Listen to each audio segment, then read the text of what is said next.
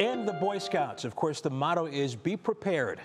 But nothing could have braced a Ravenna Eagle Scout for the tragic accident that would change his life. Lindsay Buckingham shares his incredible story of survival, determination, and the power of positive thinking. If you're looking for 21 year old Alex Copen, you'll often find him here, playing with his dogs at his happy place outside his family's spacious home in Ravenna. And soaking in the nature he's long admired as an Eagle Scout.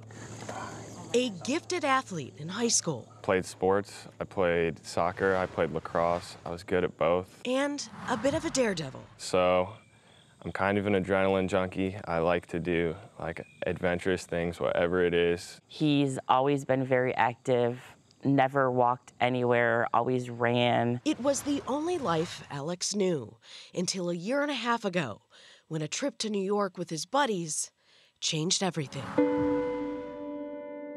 I'd never been skiing. I'm like, all right, let's go. The group was having a blast. Alex was getting the hang of it. He went for a bigger challenge. It was kind of like a joke at first. We're like, oh, like, let's go down this black diamond. And it's the last mogul, and I'm going really fast at this point, and I hit it, and I just kind of closed my eyes because I knew I was going to crash. I landed just right, and I broke my T12 vertebrae. Alex, unable to move his legs, in shock on the helicopter ride to the hospital. I knew I broke my back understand the weight of it. I didn't understand what that meant. He would soon find out.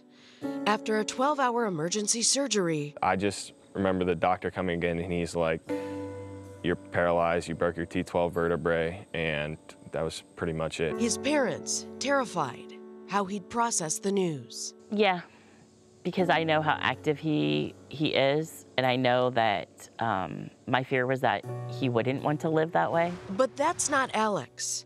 That's not the Copen way. I appreciate how straightforward the doctors were. I'm glad they didn't lie to me and give me false hope. It's hard to digest and hear that because I'm like, nah, I'm gonna beat this, but it's not something you can beat, and it's not like a matter of will, it's just a matter of reality. He got to work spending months at Craig Hospital in Colorado. He's endured grueling therapy and six surgeries to try and ease his constant pain. It's the warrior mindset that keeps Alex going, and that's that's a big time tool that, that he's really fortunate to have, for sure. His friends and family know that too.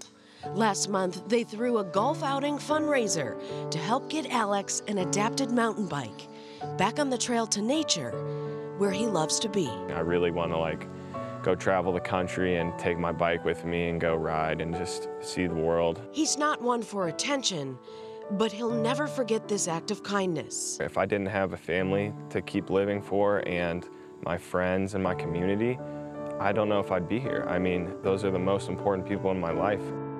Oh, he's 100% inspires me. Yeah, he keeps me going every day. I know Alex 2.0 is going to be incredible because he was incredible before he got hurt. These days, he's leaning into his inner strength, that scout mentality, hoping his story will inspire just one person to hang on. My dad has just raised us and my brothers to just never quit, and that's the way I am. I'm not going to quit. You just have to take it a day at a time and just fight those demons every day and try and find something good every day to focus on. Lindsay Buckingham, 3 News. Hmm. And members of the Copen family tell us they're nearing their goal to buy Alex that mountain bike you saw in the story.